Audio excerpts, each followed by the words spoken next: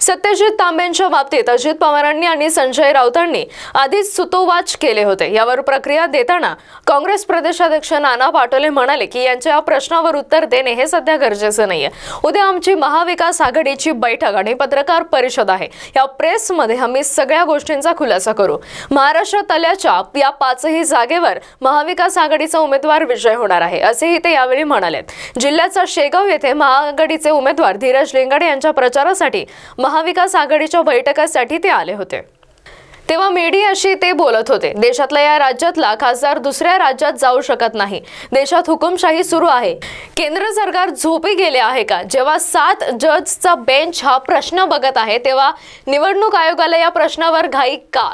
निवडणूक आयोगावर केंद्र सरकारचा दबाव आहे का? असा आरोप शिवसेनेच्या निवडणूक आयोगाच्या आजच्या हिअरिंगवर बोलताना नाना पोटले यांनी केला आहे.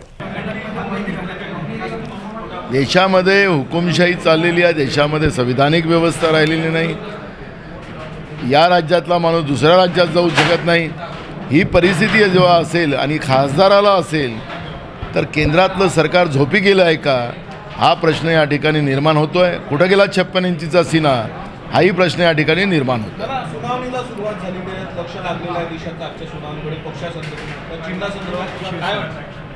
मूळ प्रश्न असा आहे की जेव्हा सात सुप्रीम कोर्टाच्या जजेसकडे हा प्रश्न असल्यामुळे निवडणूक आयोगाकडे ही घाई करण्याची कारणं काय?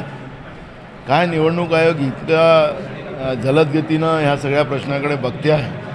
काय केंद्र सरकारचा दबाव आहे निवडणूक आयोगावर? आखरी एकीकडे डिस्क्वालिफिकेशनचं प्रकरण कें माननीय सुप्रीम कोर्टामध्ये आहे.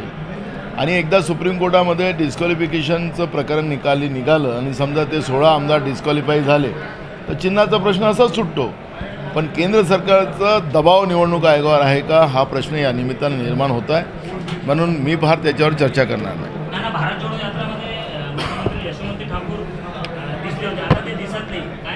त्यांची सासूची तब्येत चांगली नाही आहे.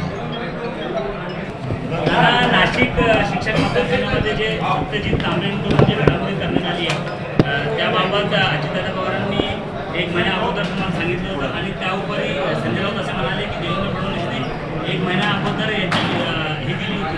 तर त्याच्यावर हे दिली होती तर काँग्रेसला जागा का आली नाही असं संजय राऊतांनी म्हणाले. त्यांच्या या प्रश्नाचं उत्तर देणं काही आत्ता गरजेचं नाही. उद्या महाविकास आघाडीची आमची बैठक आहे त्याच्यानंतर प्रेस आहे. या प्रेसमध्ये आम्ही सगळ्या गोष्टीचा खुलासा करू. मी काल पण सांगितलं की महाराष्ट्रातल्या या पाच विधान परिषदेच्या निवडणुका शिक्षक मतदारसंघ आणि पदवीधर मतदारसंघाच्या ज्या चाललेल्या आहेत त्याच्यामध्ये महाविकास आघाडीच्याच उमेदवारांचा विजय होणार. आणि म्हणून आज या सगळ्या पण भाजपचं आपण पाहिलं असेल की नाशिकमध्ये भाजपला साधा उमेदवार न भेटणं तर भाजपची अवस्था राज्यात काय आहे?